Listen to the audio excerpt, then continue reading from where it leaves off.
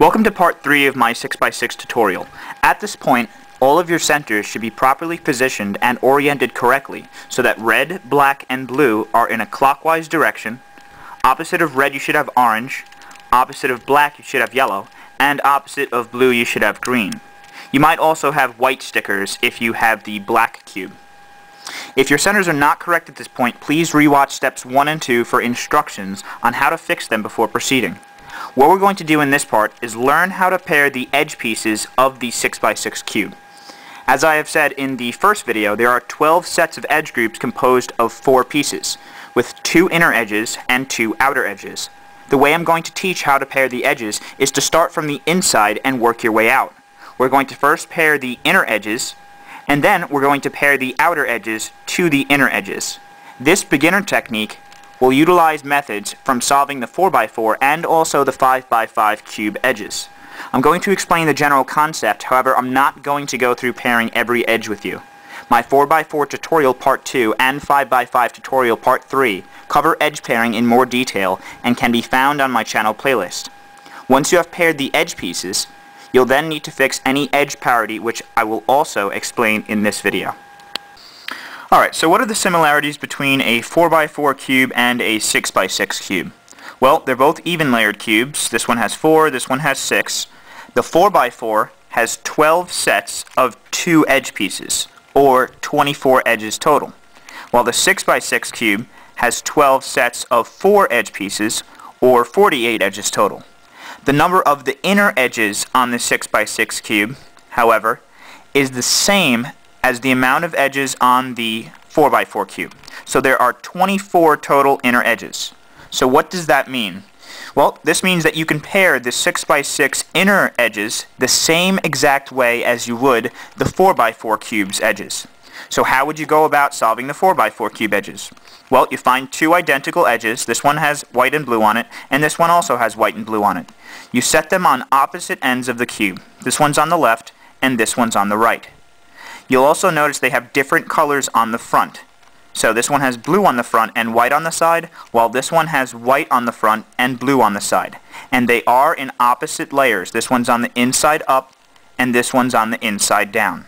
Once they're positioned like that, you can match them up by twisting the one on top over to the one on the bottom. You could also twist the one on the bottom over to that way, but for simplification, I'm going to show it this way. So I would move this one over to that edge. Now you notice they're pair up. However, the centers have been misaligned. So what you do is you want to get this newly matched pair out of the way and replace it with any other unmatched pair so that we can realign the centers. So, once we match it up, you lift it and replace it with an unmatched pair. Now you'll notice the centers are misaligned, so you have to bring that unmatched pair back down and then you could realign the centers and you don't have to worry about breaking that newly matched pair up. So that's the beginner method and what that does is it gives us one newly matched pair. Alright, so let's start pairing the inner edges of the 6x6 cube. What you want to do is you want to find two identical edge pieces, just like you do in the 4x4 cube. So here I have an inner black and white um, edge piece, and here's another inner black and white edge piece. So what you do is you set them up so that one's on the inside up layer, one's on the inside down layer, this one's on the left, this one's on the right, this one has blue on front and black on the side, while this one has black on front and blue on the side. Then you just do the same exact thing. You pair them up by twisting three layers now instead of two. So we want to twist all three of these layers just like that. Once they're paired, you need to get them out of the way and replace them with an unmatched pair. So, you lift it up, twist it out of the way with an unmatched pair in this position now. You bring it back down, and then you just realign the centers. So there we have two um, pieces which are now next to each other. Looking around the cube again, you want to find two again. So here I have an inner red and black piece. Here's another red and black piece. So if this one's here on the inside up layer, we can get this one here on the inside down layer. So you bring this one down, flip that over there, and then bring it up. Now you'll see this inner up layer piece is on the right, and this one's on the left. So we just do the opposite. We bring it this way now. So you pair it up, and then you get it, lift it up, look on top, you want to replace it with an unmatched pair. And then you bring it back down. Then you could twist the centers back to realign them. So you want to keep on doing that over and over again until you have either two sets of um, pieces which are left. In that case, there should be two pairs left that you need to match up.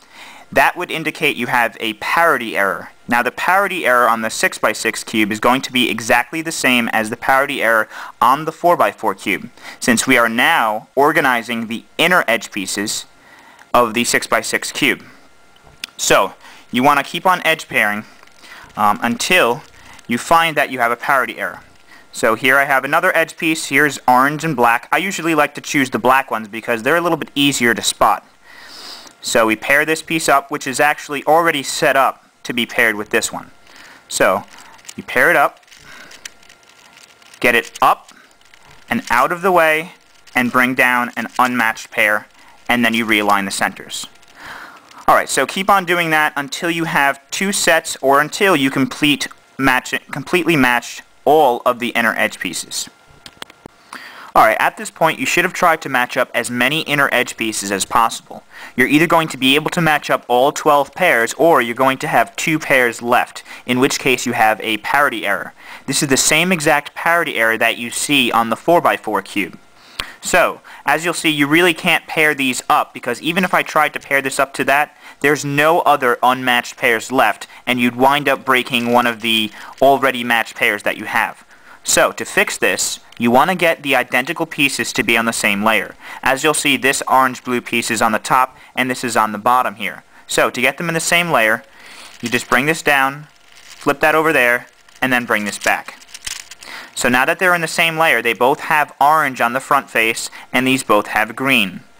So, what you want to do is perform this algorithm to fix this error.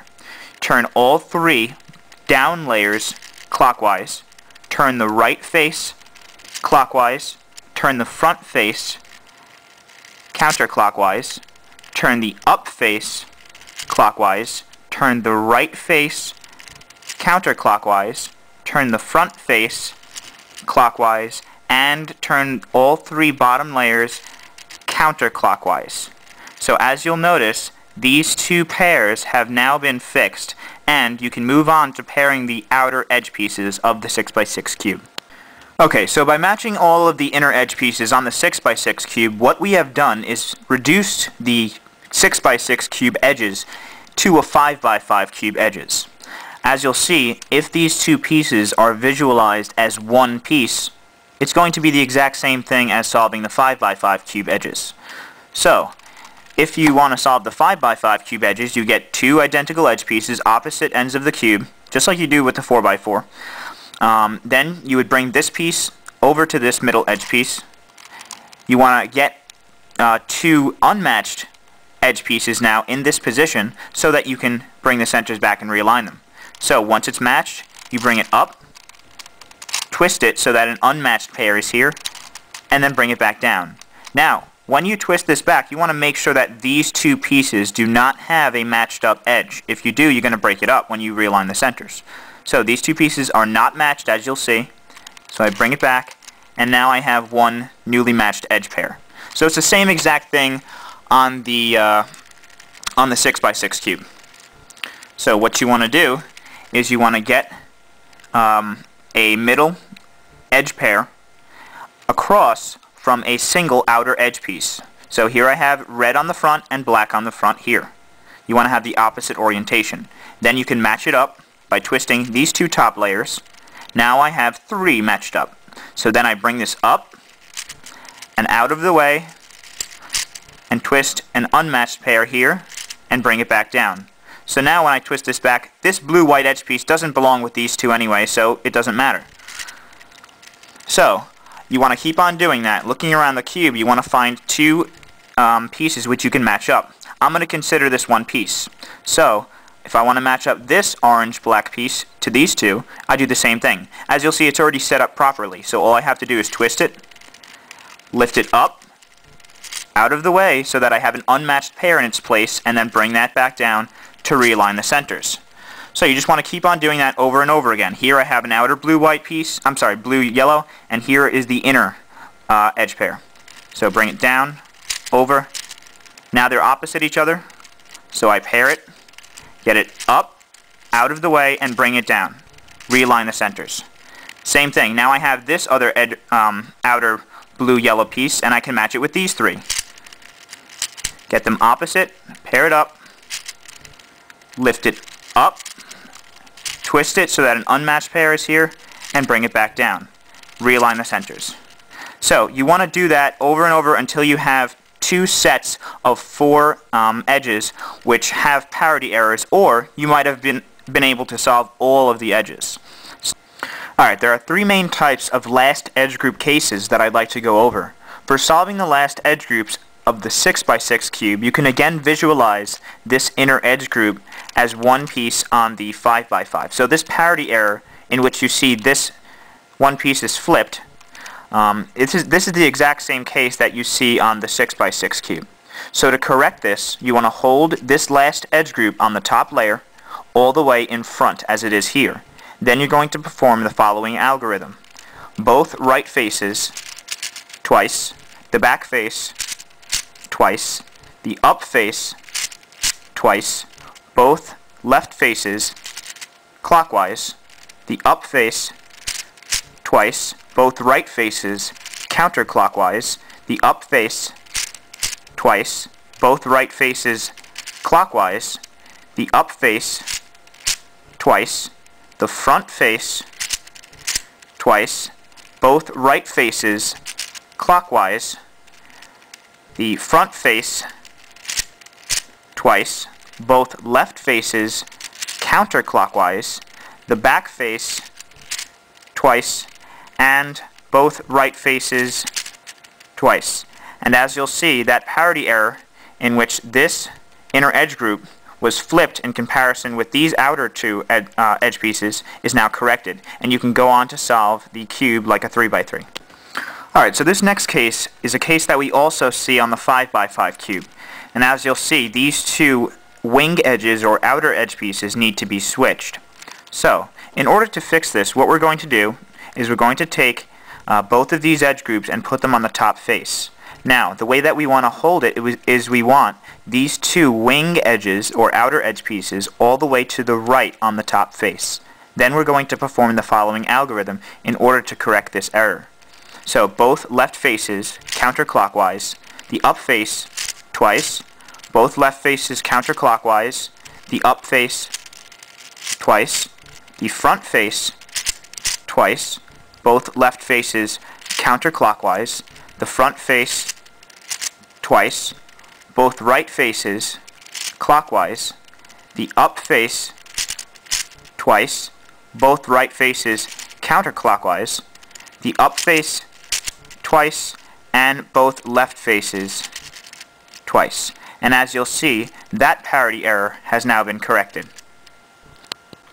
The last main case that we see is a case that also occurs on the 5x5 cube, and it is actually not a parity error, but can be easily solved with the same algorithm that we used for fixing the inner edge parity on the 6x6 cube.